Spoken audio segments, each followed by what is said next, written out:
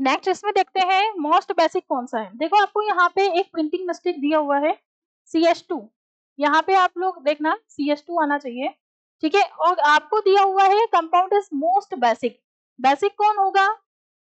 Basic कौन होगा? Basic strength मैंने आपको पहले ही बताया था कि localise lone pair delocalise lone pair इनके ऊपर भी डिपेंड करता है, ठीक है?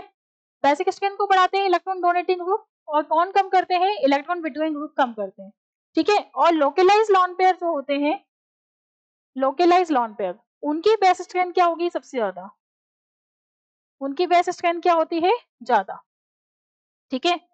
तो यदि हम लोग यहाँ पे चेक करें तो ये कौन सा ग्रुप लगा हुआ है? माइनस एम कौन सा ग्रुप लगा हुआ है? माइनस एम माइनस एम ठीक है? माइनस एम का मतलब हम लोग ये मानते हैं कि कौन सा इफ़ेक्ट है? इलेक्ट्रॉन विड्रॉइंग इफ़ेक्ट है। और यहाँ पे जो लॉन पेयर है, ये क्या है? डी लोकेलाइज लॉन पेयर है।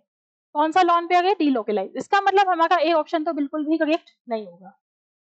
इसमें हम लोग देखते हैं कि NH2 दिया हुआ है आपको, और NH2 के ऊपर क्या दिया हुआ है? लॉन पेयर दिए हुए हैं, ठीक है? तो NH2 के ऊपर जो लॉन पेयर है, वो lone pair localise lone pair है, इसलिए हमारा ये वाला ऑप्शन जो करेक्ट होगा, क्योंकि बेस स्ट्रेंथ को क्या कर गए ये? बढ़ा गए ठीक है?